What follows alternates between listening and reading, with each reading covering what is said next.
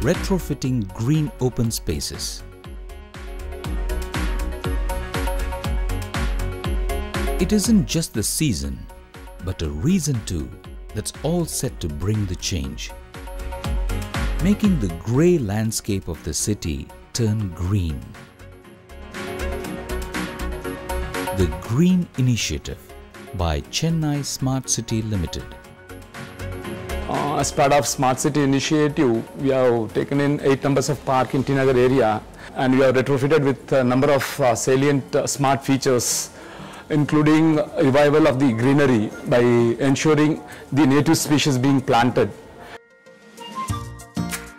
A cooler and greener option for all. We live in an environment where we don't really happen to look into nature. Smart சிட்டியில் நல்லா தான் பண்ணியிருக்காங்க இந்த shuttle court அப்புறம் எல்லா LED லைட்ஸையும் மாற்றிருக்காங்க அப்புறம் ஃபுட்பாத்து கம்ப்ளீட்டாக சேஞ்ச் பண்ணியிருக்காங்க யோகா மேடை கம்ப்ளீட்டாக சேஞ்ச் பண்ணியிருக்காங்க The Greater Chennai Corporation has done it. The development and improvisation of eight parks in T Nagar area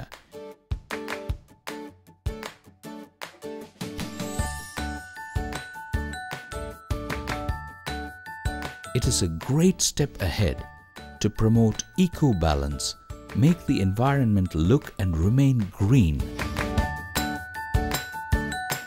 Of Greater Chennai has made it happen in true sense. Especially you are doing this good job for the very elders who cannot go for physiotherapy like this.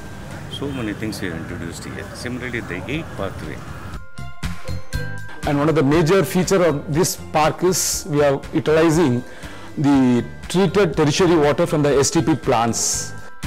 Living amid the greens and in an environment that you love, respect, and worship is a grace indeed. Now, near you, for you, and to make you feel healthy, safe, and happy.